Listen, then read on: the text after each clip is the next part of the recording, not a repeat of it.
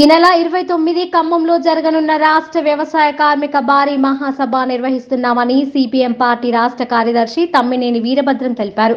సభకు ముఖ్య అతిథిగా కేరళ రాష్ట్ర ఉప ముఖ్యమంత్రి విజయన్ హాజరు కాబోతున్నారు. బహిరంగ సభ ద్వారా రాష్ట్రంలో ఉన్న వ్యవసాయ కూలీల కోసం రైతాంగ హక్కుల కోసం కౌలుదారుల హక్కుల కోసం పోరాడాలని భవిష్యత్తు కార్యాచరణను తయారు చేసుకోవాలని నిర్ణయించాము అని అన్నారు. వరంగల్ నగరంలోని సిపిఎం పార్టీ కార్యాలయంలో పార్టీ జిల్లా స్థాయి సమావేశం జరిగింది. ఈ సమావేశంలో ముఖ్య అతిథిగా రాష్ట్ర కార్యదర్శి తమ్మినేని వీరభద్రం పాల్గొన్నారు.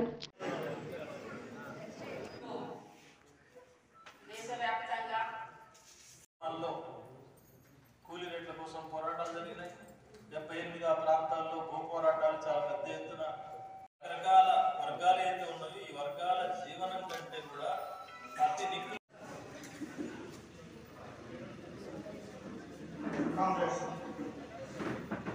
మన ఈ సమావేశాన్ని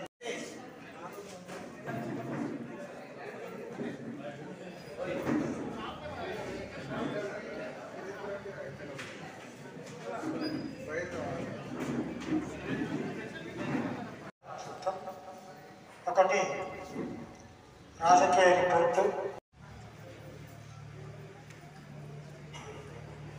ఈ సమావేశానికి బహిరంగ సభకు కేరళ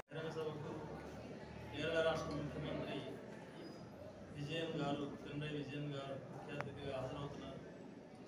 ముఖ్యంగా దేశంలో ఎక్కడా లేని విధంగా వ్యవసాయ కూలీలకు అత్యధిక రేటు చట్టబద్ధంగా అందిస్తున్నటువంటి రాష్ట్రం కేరళ.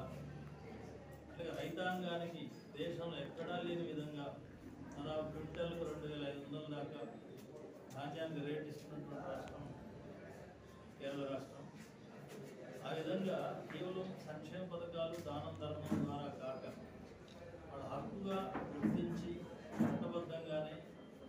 కూలీలకు రైతాంగానికి హక్కులు కల్పించడం అనేది సిపిఎం పార్టీ యొక్క విధానం. ఇట్లాంటి ఈ బహిరంగ సభ ద్వారా మొత్తం రాష్ట్రంలో ఉన్న వ్యవసాయ కూలీల హక్కుల కోసం రైతాంగ హక్కుల కోసం కౌలుదారుల హక్కుల కోసం పోరాడాలని భవిష్యత్ కార్యాచరణ నిర్ణయించుకోవాలని మహాసభ జరుగుతోంది.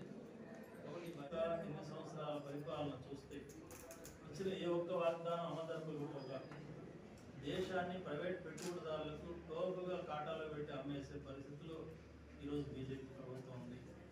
దానికి తోడు ఇప్పటి వరకు తరతరాలుగా అన్ని మతాలు సామరస్యంగా ఐక్యంగా జీవిస్తున్నటువంటి భారతదేశ వాతావరణాన్ని పూర్తిగా కలుషితం చేసి హిందూ ముస్లింల మధ్య హిందూ సిక్కుల మధ్య హిందూ క్రిస్టియన్ల మధ్య రకరకాల ఘర్షణలు పెట్టి మాట్లాడుకున్నటువంటి దుర్మార్గమైనటువంటి విధానం బీజేపీ అవలంబిస్తాం